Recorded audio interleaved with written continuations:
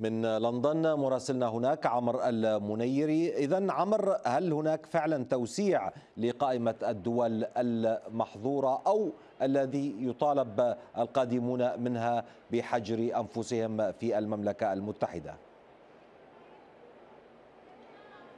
نعم بالفعل أحمد هذا القرار الجديد ربما يتبع قرارات أخرى. انضمام بلجيكا وأندورا وجزر البهاما. لا ننسى أن بلجيكا تستقبل سنويا مليون و ألف بريطاني في الأجازات السنوية المختلفة.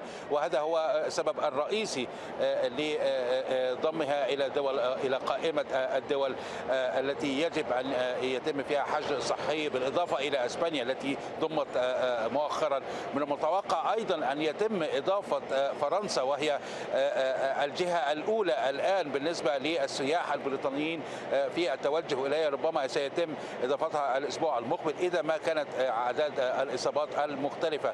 النقطة هي هو مزيد من الحيرة بالنسبة للقادمين من أوروبا وخصوصا أنه من يمر على بلجيكا سواء بالسيارة أو بالقطار حتى لو إن لم يتوقف بها يجب أن أيضا أن يتم العزل الصحي بالنسبة له وعليه تقديم ما يثبت أنه مر بخط سير الرحلة التي مر بها مما يعقد الأمور بالنسبة لقطاع السياحة وقطاع الطيران بشكل عام وخصوصا أن بريطانيا أو الشعب البريطاني يحب السفر وبعد ستة أشهر من العزل الصحي وهناك توقعات بموجة أخرى يتخوف البريطانيون من الذهاب إلى أوروبا الآن بسبب هذه الإجراءات الجديدة والتي من المتوقع أن تزداد يوما بعد يوم نعم. خصوصا الاعداد الأوروبية في الإصابات بفيروس كورونا تزداد في هذه الآونة. أحمد؟